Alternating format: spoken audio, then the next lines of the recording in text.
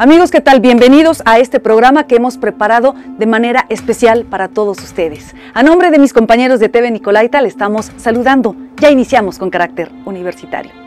Les queremos comentar que el doctor Arturo Chacón Torres es un investigador del Instituto de Investigaciones sobre los Recursos Naturales, el INIRENA él realizó una investigación hace 30 años. Es la primera batimetría del lago de Pátzcuaro que se hizo para la medición de la profundidad y el estudio de la distribución de plantas y animales en sus diversas capas o zona. Esto dio lugar a varias investigaciones alternas. Este año se realizó el mismo estudio con tecnología de punta y los resultados desafortunadamente son poco alentadores para el lago de Pátzcuaro. Durante esta medición acompañamos al doctor Chacón y a sus estudiantes para conocer cómo se realiza este proceso. Vamos directo al lago de Pátzcuaro.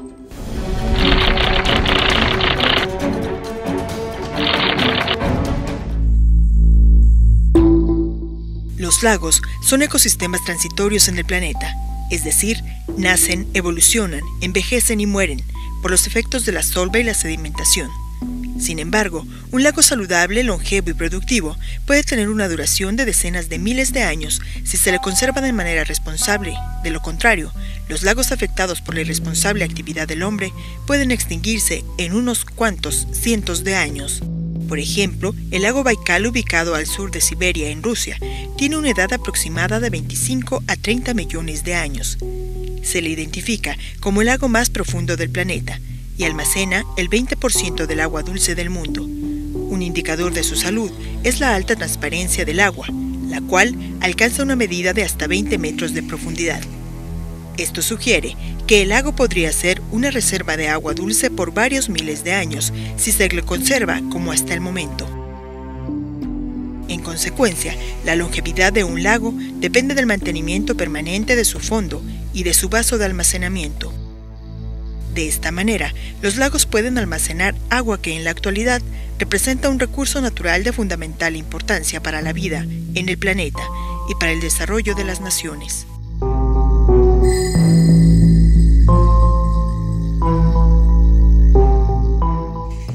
Para actualizar los resultados obtenidos en el año de 1988, el investigador Nicolai Arturo Chacón realiza un estudio de las profundidades del lago de Pátzcuaro, ubicado en el estado de Michoacán con métodos similares, pero con una tecnología de mayor precisión, a fin de facilitar la evaluación comparativa sobre la evolución del vaso lacustre en un periodo de 30 años. Pátzcuaro es un lago que no tiene salida al mar, por lo tanto, todos los materiales que llegan a su área lacustre se sedimentan y quedan en su fondo de manera permanente. Algunos de estos materiales son los suelos y lodos que son el resultado de la tala del bosque en las montañas que rodean al lago y que llegan con las lluvias por las cañadas y las laderas. Otros materiales son la basura generada por las poblaciones aledañas y finalmente las aguas negras que contienen materia orgánica y otros sólidos. Son también materiales que llegan a formar parte de los sedimentos del lago. A todo este conjunto de materiales que llegan al fondo del lago de Pátzcuaro se le conoce como asolve. El asolve necesariamente reduce la capacidad de almacenamiento de agua en los lagos, lagunas y presas.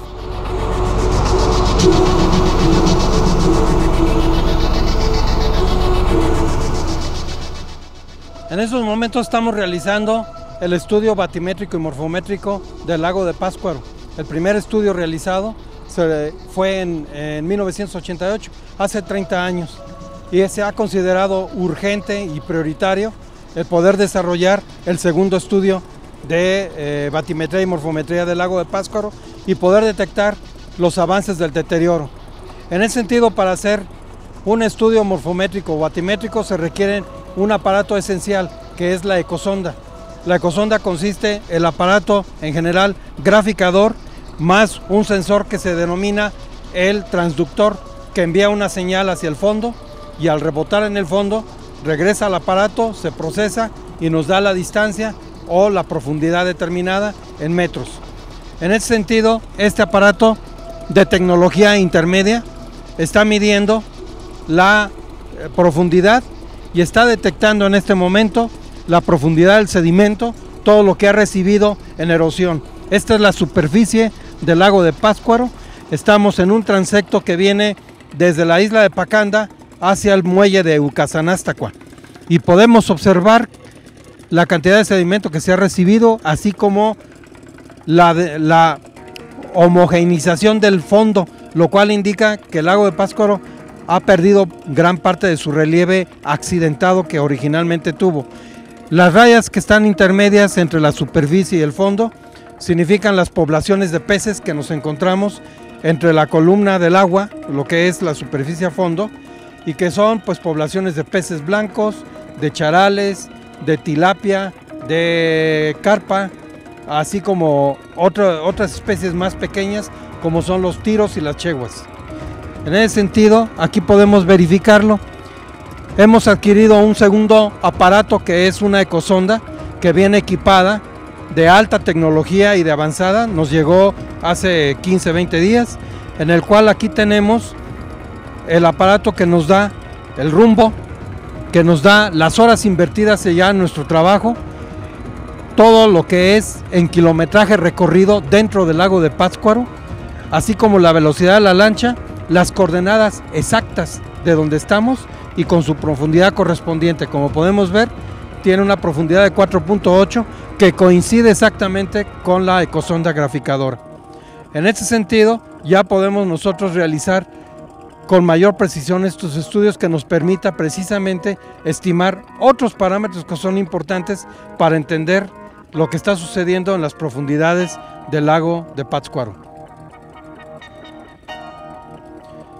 En este proyecto participa el eh, estudiante tesista responsable, que es Pedro Pastor Onofre, estudiante de la carrera de la primera generación de la carrera de Ingeniería Ambiental y que está realizando precisamente la tesis para evaluar precisamente los cambios ocurridos hace 30 años con respecto a la actualidad. Y tenemos también a Patti, que ella también es estudiante de la carrera de Ingeniería Ambiental y que se ha ofrecido como voluntaria para participar en estos proyectos que le ayudan a complementar su educación profesional y su capacitación. Y tenemos a nuestro piloto Luis y tenemos también a Angie que son voluntarios también que trabajan con nosotros desde Panorama Ambiental para trabajar este, en este estudio. Las organizaciones que están trabajando en esto es Panorama Ambiental, es eh, eh, la carrera de Ingeniería Ambiental, así como también académicos del Instituto de Investigaciones sobre los Recursos Naturales.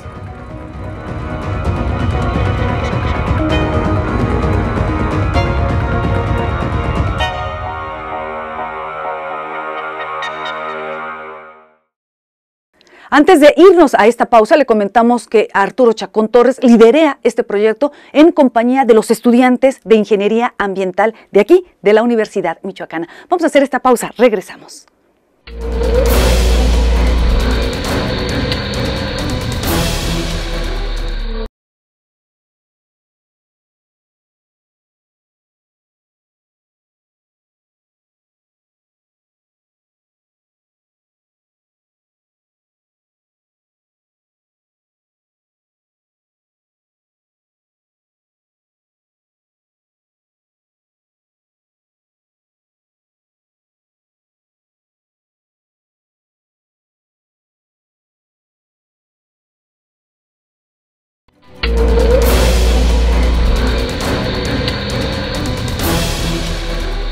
Gracias por continuar en este especial. Es sobre la medición y el conocimiento de la salud del lago de Pátzcuaro, la batimetría que hizo el equipo del doctor Arturo Chacón. Los resultados que obtuvieron, como les mencioné al principio, son poco alentadores, entre ellos la contaminación por descargas de aguas negras y la presencia de metales, los cuales han ocasionado que se deteriore la salud del lago de Pátzcuaro, el lago más simbólico de nuestro estado en este bello estado, lamentablemente el lago de Pátzcuaro está en estas condiciones.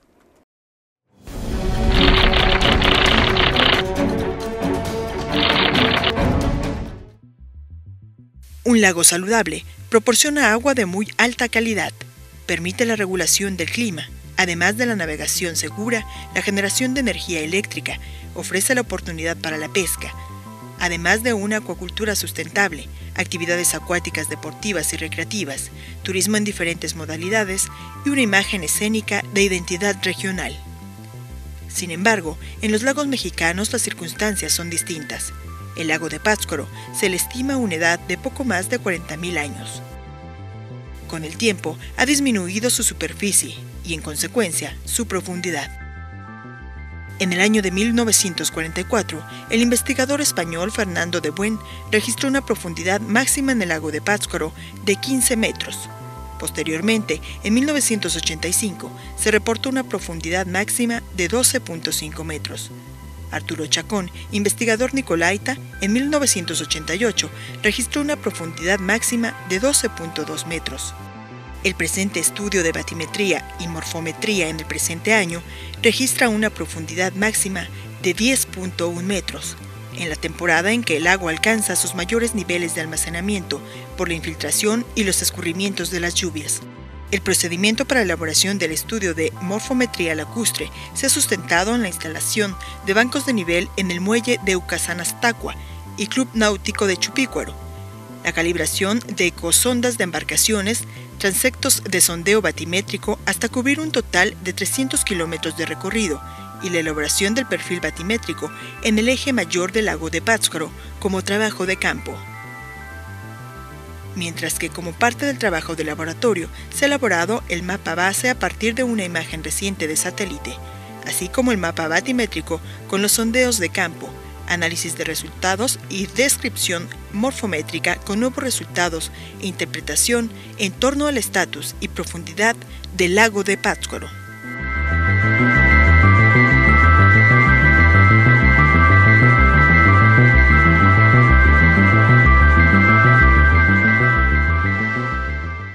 Los resultados preliminares que se han obtenido ahorita del trabajo de campo y sugieren precisamente que el lago de Pátzcuaro ha perdido cerca de 2 metros y 10 centímetros de profundidad con respecto a 30 años.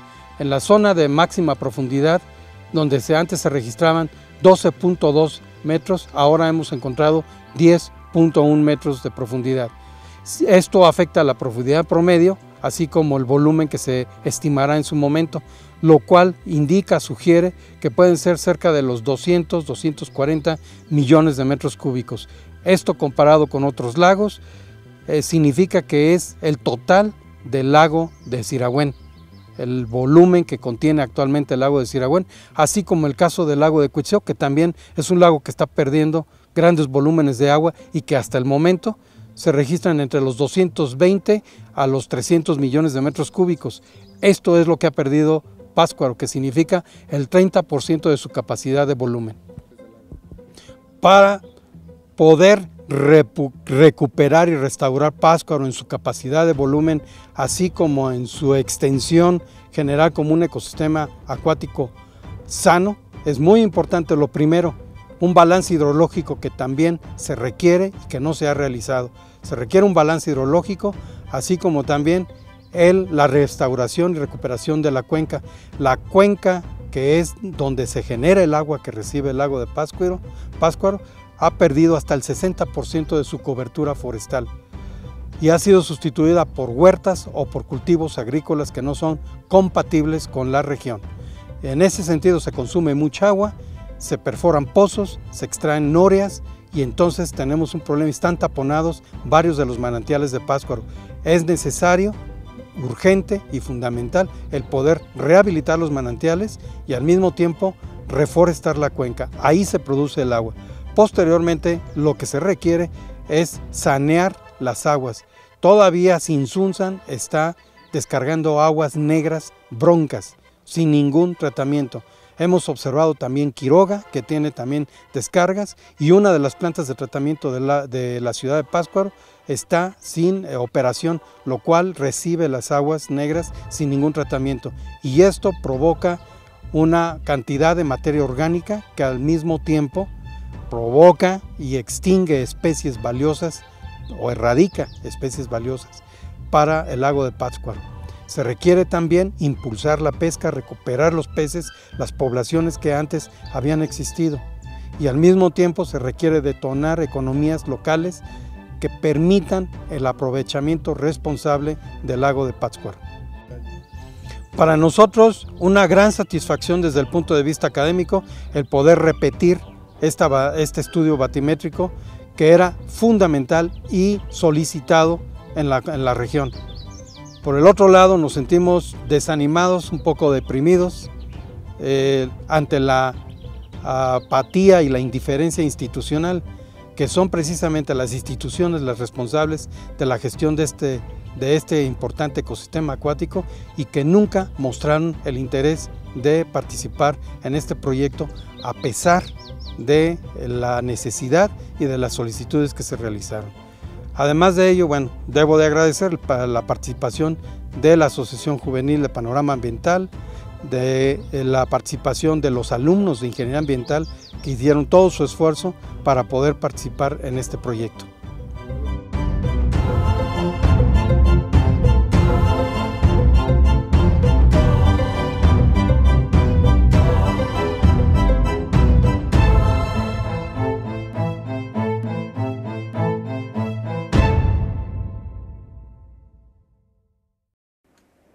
Es lamentable el estado de salud que en este momento pasa el lago de Pátzcuaro, uno de los espejos de agua más bellos del territorio michoacano y uno de los atractivos turísticos, culturales y ambientales donde más importa a nuestro estado.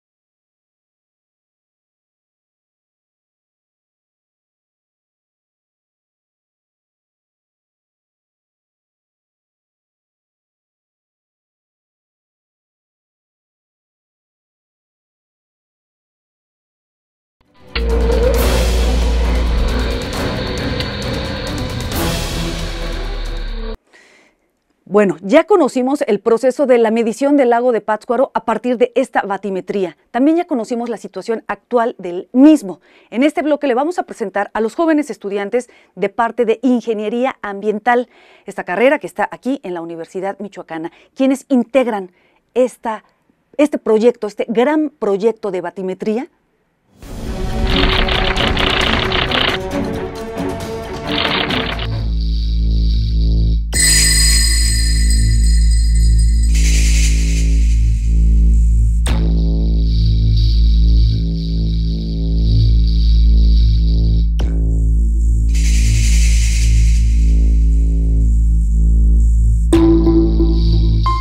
De esta manera hemos tratado de hacer que el estudio sea que traiga grandes beneficios, sobre todo en la capacitación.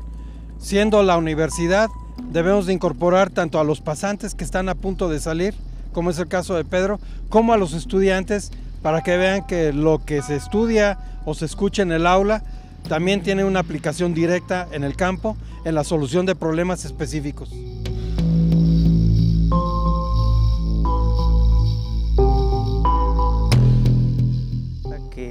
Lo que me gusta a mí es eh, los lagos, soy de Cuitzeo y me interesa mucho este, eh, la cuestión ambiental del lago. el doctor me dio la oportunidad de participar en este proyecto con la batimetría del lago de Pátzcuaro, lo cual pues estoy muy sorprendido. He empezado a utilizar instrumentos que durante la carrera los había utilizado este, nos dimos cuenta de la, de la profundidad del lago, contaba con una rugosidad en la superficie. Ahorita, de acuerdo a los puntos que muestramos y los estudios, está prácticamente plano. Eh, encontramos también una pérdida de profundidad de dos metros, que es lo que hemos encontrado en estos estudios porque yo estaba muy preocupada por el medio ambiente, por la contaminación y porque la gente no toma conciencia de los actos, de cómo vive y pues estamos en un momento decisivo para, para remediar todo el daño que hemos hecho y para cuidar pues el mundo que es nuestro, nuestro planeta y es el único que vamos a tener. No hay mucha conciencia, entonces en la parte más importante también de la ingeniería ambiental es transmitir nuestro conocimiento a las demás personas para que tomen conciencia y tengamos un estilo de vida más sustentable. Bueno, eh, yo estuve en las lanchas em, marcando rumbos con el GPS en la mano. Eh, ahí se manejan coordenadas UTM y geográficas. Entonces em, me decían a qué lado ir y yo tenía que poner las coordenadas eh, correspondientes y marcaba el rumbo para que la ruta fuera más rápida y en cuánto tiempo llegar. Mira, parte de nuestra labor fue pues entre el mantenimiento, tener el equipo listo, encargarnos de, de, traer, de traerlo hasta aquí, a este lago. Parte de nuestro trabajo es coordinar a los alumnos. Nosotros ya tenemos bastantes años con el doctor y manejar las, los GPS, manejar las, las ecosondas. Parte de lo que hicimos fue mantenernos anclados y apoyar en, en trabajos diversos, tales como fue el desde preparar la comida para, para estar listos aquí en el lago, ¿no? Y, trabajos ya un poquito más, más adentro como ayudar a botar las lanchas y yo creo que la parte más divertida de, del trabajo es el trabajo de campo, estar aquí en el lago, estar aquí en, bueno, no solo en el lago de Pátzcuaro, en, en ríos, presas y lagos. Hemos hecho estudios en todos ellos y mis funciones fue este, apoyar en la, que todo el equipo estuviera en óptimas condiciones para que fuera exitoso la, el estudio y, y, este, pues esperemos que de algo nos sirva este estudio para mejorar y salvar el, el lago de ah, Nosotros, en, este, mi compañera Odiel y yo, este, fabricamos unas prensas para, para poner unos tubos para sostener el, el, traductor de la ecosonda para no traerlo en la mano. Fue fabricado con materiales de acero inoxidable para que sea resistente, a, ya sea ahorita como tenemos en, agua dulce, puede ser también funcional para en agua salada en, en, algún otro tipo de estudio que se llegue a realizar con ella. Lo vimos en, en, una, en una ocasión que apoyamos al doctor este, Garduño, eh, vinieron gente y traían un equipo muy nuevo, entonces vimos similar el trabajo que ellos traían, entonces ahí se me ocurrió la, idea de usar prensas para sujetarlo al casco de la lancha y evitar de que los alumnos o uno este, agarrara el traductor con la mano y hubiera malas mediciones, porque se cansa la mano, porque son jornadas de 4, 5 horas, 8 horas, entonces es muy cansado para la persona que nos aporta o nos ayuda a sostener el traductor. En este proyecto la cartografía se está sacando a partir de imágenes de satélite este, y delimitar perfectamente la superficie de, del lago con imágenes recientes de un eh, satélite que se llama Sentinel, el cual este, nos, nos, proporciona imágenes casi en tiempo real. Esta imagen que estamos manejando es de hace apenas una semana, entonces va a estar eh, muy, muy completa la, la, información y aparte estamos eh, manejando eh, imágenes satélites de hace 30 años para ver cuál es la diferencia este, entre los niveles del, del agua. Y a partir de esta, de esta imagen de satélite se delimita el lago y ya se de ahí saca el mapa base.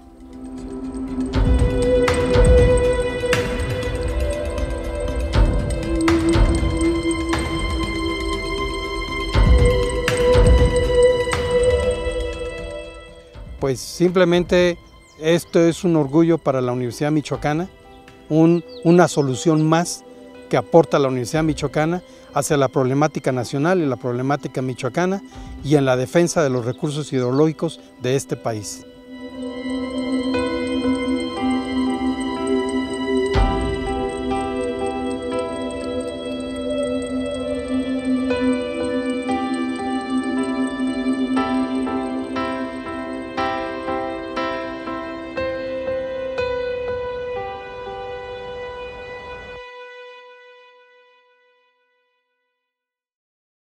La participación activa de los jóvenes es imprescindible a la hora de trabajar en temas y proyectos de esta magnitud como lo es el estudio del lago de Pátzcuaro. Enhorabuena por todos estos jóvenes brillantes y su ímpetu por la investigación. Enhorabuena por el doctor Chacón que trabaja como investigador en este tema fundamental.